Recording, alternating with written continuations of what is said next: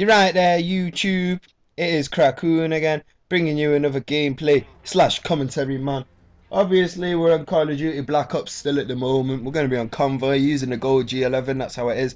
I'm going to bring some M16 gameplay very soon, so expect to look forward to that. But first off, I've obviously got to get back to playing Black Ops because recently, at the moment, I've probably been playing out of the games that I've been playing on my Xbox. I've, been, I've probably been playing Homefront more than uh, modern uh, what's the word now? Modern Call of Duty Black Ops. So I don't know it'll be an interesting to see what's going on. And seriously I'm gonna get this out at the start of the com let me know in the comments below if you want to see some Homefront gameplay some Homefront beastification.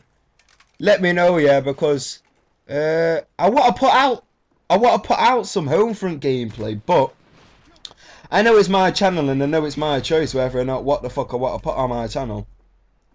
So if I wanted to do it proper badly, then I'd just do it. But because I'm a nice guy, uh, I thought I'd ask you if you actually want to see some Homefront. Because I'm not going to put it out and then none of you are going to watch it or whatever. But I know Homefront games can usually last a little bit longer, but the TDMs seem to be pretty short. You can usually get one of them done in about six minutes if you're a beast like I am. But uh, let me know, yeah, because I'll do it definitely if you want. If you want me, if you want to see some, that is. But anyway, as you didn't know, man, a lot of uh, some new news within the Call of Duty community recently.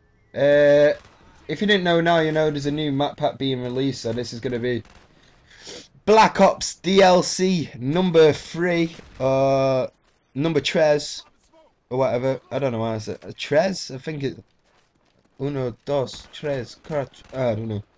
Fucking hell. Uh, pretty much, man, there's to be a new map pack released. Four new multiplayer maps, another zombie map, and tell the honest truth, I'm fucking pissed off about the whole situation. It's fucking annoying, man. They should just include. They shouldn't. Uh, they shouldn't fucking make us. As you see there, I hit that nade off, as I always do. But uh, fucking, what was I gonna say now? They should just include. They shouldn't. They should just then fucking include the map packs within the game and shouldn't make you fucking pay for the bastard. Because they should release it. It's staggered dates, as they're doing, but they should release it for free. Because I don't know, man. Fifteen fucking well, it's like ten pounds English money, fifteen dollars US. Takes the fucking piss, me honestly. I can't fucking be asked paying for it, but I know I'm gonna end up paying for it. But anyway, enough of bitching about the map packs and that kind of shit, cause. Uh, they should just fucking do it for free. I mean, there's been free now, free fucking map packs. I can understand if you did two map packs and then you make it pay for them, but there's been free map packs now and they're gonna make us pay for it.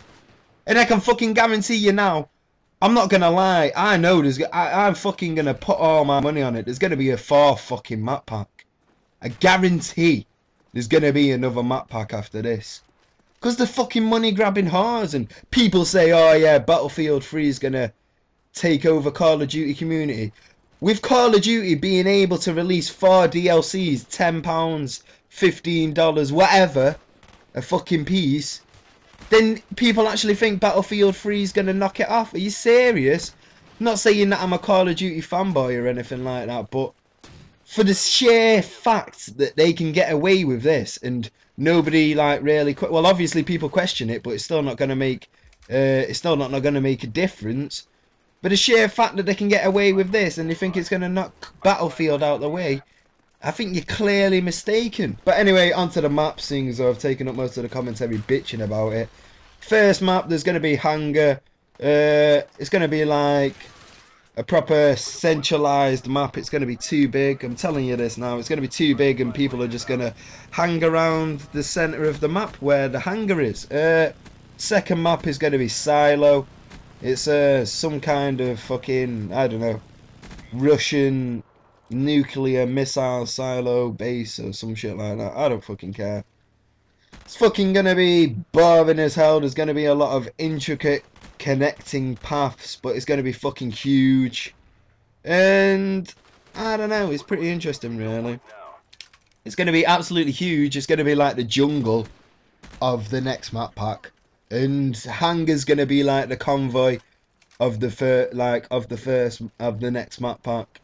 You understand? I'm comparing it to these map packs because they've all got a criteria that, they've got to meet that like simulates like well balanced, fair gameplay and all that kind of shit. Uh, the third one being Drive-In. It's going to be like a small, closed in type map. They're saying it's going to be like Nuketown. I'm telling you now, it's going to be like hotel. There's going to be camping bits like all around where people are going to choose to camp, but then there's going to be open areas where people can camp out onto these sight lines and get kills. Because that's just the way it fucking is. Uh, then the fourth, fourth one being Hazard. Based on a World at War map where, I don't know, it's called Cliffside or something, and pretty much they've based it on that, and now it's going to be like a golf resort, and it's going to be like the, uh, the, oh, what's the word now? It's going to be like the zoo, pretty much, of this map pack to that map pack. But as you see there, people's wrapping up the game. You know how it is. Fucking 32 to 3. 11.33 KD, but nobody gives a shit about KD. But anyway, peace!